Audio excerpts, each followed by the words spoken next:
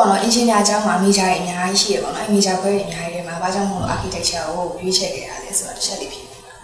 စစယူတော့ကျတော့ဒီ architecture ဆိုတာကိုဘာမှတော့သိတော့နားမလည်ဘူးပေါ့နော်အဲဒါပေမဲ့လူကြီးတွေပြောတာတော့ဒီတန်း senior တွေပြောတာကြောင့်ဒီပုံဆွဲရတယ်ပေါ့နော်ပုံဆွဲရဆိုတာငါကလည်းပုံဆွဲရတာဝါသနာပါခဲ့တဲ့အတွက်ကြောင့်ဒီပြီးတော့ကောဟိုပူစားပေးအနေနဲ့ပေါ့နော်တင်လိုက်တယ်ရှောက်လိုက်တဲ့အခါမှာတခါတက်လာတဲ့အခါကျတော့ ကိုယ်ဝါသနာနဲ့လည်းနည်းနည်းထပ်တူလဲကြားရတဲ့အတွက်ကြောင့်ပေါ့နော်အာယူဖြစ်သွားတယ်ပေါ့ခုတက်လာတဲ့မှာပေါ့နော်ဒီ final ရရောက်တဲ့အချိန်မှာ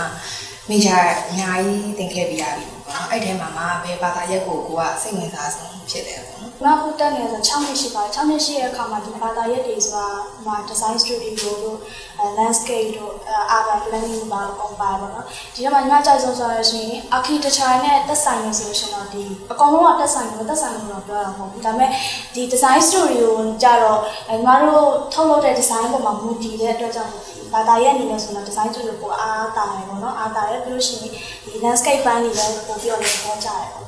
အဲ့ဘာသာရပ်တွေသင်ကြားတဲ့ပုံမှာပေါ့နော်ကိုယ်အမြင်ပေါ့နော်ဒီသင်ကြားမှုပိုင်းစနစ်တွေမှာပေါ့နော်ဘာတွေလိုအပ်နေရလဲကျင်းတဲ့အားရမှုရှိရလားပေါ့နော်ညီမတို့ကအခုလုံး presentation တွေပါတယ်လောက်ရတယ်ဆိုတော့ညီမတို့ကိုယ်တိုင် concept ဟို study အနေနဲ့လောက်ရတာပုံများတယ်ပေါ့နော်ဒီဆမ်မရဲ့သင်ကြားမှုတွေလည်းရှိရဲဒါပေမဲ့ပို့ပြီးတော့ညီမတို့ internet တွေကပို့ပြီးတော့ရှာဖွေရတာရှိရဲပြီး data တွေကကိုယ့်အောင်ရှာဖွေရတာရှိတိတ်တော့မလွယ်ဘူးပေါ့နော်ပို့ပြီးတော့ဆမ်မတွေကပို့ပြီးနီးနှမ်းခိုက် ပေးရတာပို့ပြီးတော့ကောင်းတယ်လို့တော့ထင်တယ်ပေါ့နော်အဲ့ဒီတစ်ချက်တော့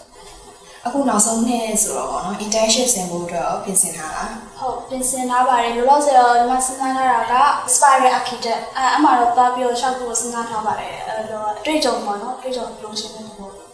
အခုကြောင်းပြီးသွားရင်ပေါ့နော်ဒီဘီတုကပညာရဲနဲ့ပဲအတန်ဝမ်းဖို့အစီအစဉ်ရှိတာဟုတ်ဟိုရှိပါတယ်ပြောဆို ဒီ archi ဆိုတာလည်းကိုယ့်ရဲ့ဝါသနာနဲ့လည်းထပ်တူလည်းကြားရတယ်လေပြီးလို့ရှိရင်ဒီလုပ်ငန်းအတွေ့အကြုံတွေလည်းယူမယ်ပေါ့နော်နောက်ပိုင်းကျရင်ဒီ archi ကိုပဲပို့ပြီးတော့ start ပြီးတော့လုပ်တော့လို့ရှိပါတယ်ပုဂ္ဂိုလ်ဒီနေကြတဲ့ပြီးရဲ့ပုံမှာပေါ့နော်ဘယ်လောက်ထိချိန်နဲ့အားရမှုရှိပြီလဲပေါ့နော်အဲအမှန်တိုင်းပြောရင်တော့ကိုယ့်ကိုကျင်းတော့အားရမှုတော့မရှိဘူးဒီပညာဆိုတော့ဟို ပို့ပြီးတော့ယူရမှာလေဟိုဒီညာမှာပဲတခါရက်သွားလို့မရဘူးပို့ပြီးတော့ပညာရပို့ဖို့ယူရမှာဆိုတော့လေလုပ်ငန်းအတွေ့အကြုံပုံမှာမူတည်ပြီးတော့ဒီပညာရဲ့ပုံမှာဘာလို့အချက်တွေရှိရဲကိုယ့်ကိုယ်ကိုပြန်မေးနေပေါ့နော်လောက်သွားဖို့တော့ခံယူချက်ရှိပါတယ်ဘီတုကအသင်းပေါ့နော် AMA ပေါ့ဘယ်လိုကျောင်းသူတယောက်အနေနဲ့ဘယ်လိုမြင်လဲပေါ့နော်ဟို AMA မှာ